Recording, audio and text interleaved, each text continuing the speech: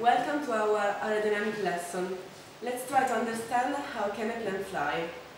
To fly means to create a force component which is opposite or at least equal to the weight. The way to create this force can change, uh, can change ascribed to the fluid we're in and to other factors. The physicists call this force lift. The important magnitudes for air are uh, three. They are temperature, density, and the pressure, related to each other by the ideal gas. Now we make an experiment. We have two balloons, and uh, the yellow one, as you can see, is bigger than the orange one. The tube is uh, closed, and uh, now I will open it. And uh, what do you think that will happen? Will the yellow one become bigger, or will uh, the orange one become, become bigger? The yellow one. The orange one. Okay, now let's see.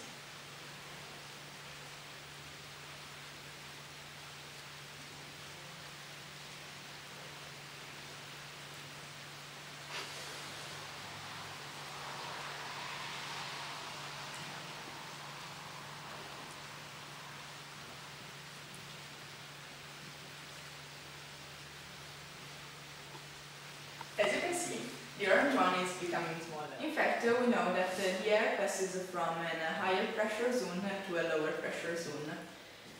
We have seen that uh, the air passes uh, from uh, the orange balloon uh, where the surface is smaller, so the pressure is bigger, to the yellow balloon uh, where the surface is bigger, so the pressure is smaller.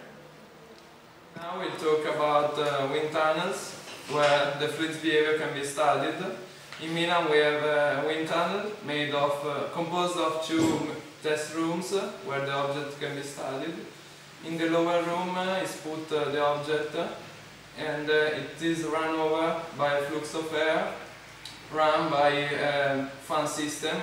We can see that in the in the steel wing of an, air, an airplane the pressure, the difference of pressure is uh, zero, and so the wing uh, doesn't rise up. Doesn't rise up.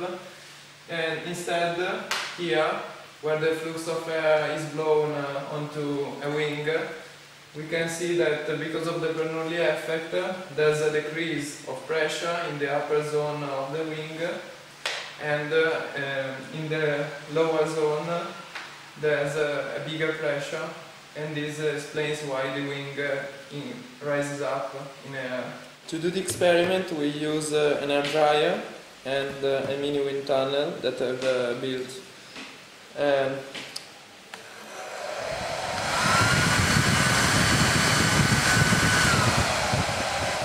blowing the air using the air dryer we can see that uh, the wing rises up because of the Bernoulli effect. Now we'll do an experiment, uh, vary the incidence angle until we reach the statement. And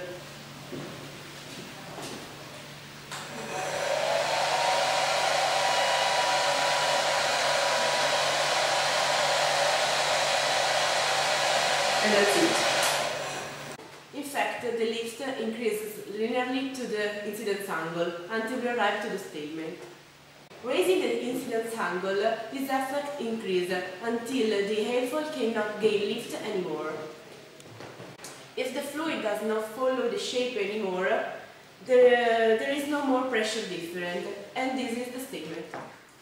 Um, the basic principles of aerodynamics are two. The conservation of, uh, of mass, uh, mass can never be created or destroyed, and the conservation of energy. There is a, a numerical quantity of energy that doesn't change when something happens. From the conservation of mass, we, uh, we can deduce uh, the continuity equation, according to which uh, if the fluid's density does not change, uh, the product between um, the fluid speed and the section through which the fluids, uh, the fluid flows is uh, constant. From the conservation of energy, um, we can deduce uh, Bernoulli's equation. In talking about an airplane wing, we can omit uh, the variation of potential energy. And um, so we can, uh, we can see that uh, if uh, the speed increases, uh, pressure must decrease. And this difference uh, of pressure causes um, an, an upward thrust that, made, that makes um, the plane fly. Now we're gonna make an experiment to show Bernoulli's principle. Uh, while the, the air in the room is still, uh, the air between the two balloons is moving and so uh, it has a certain speed.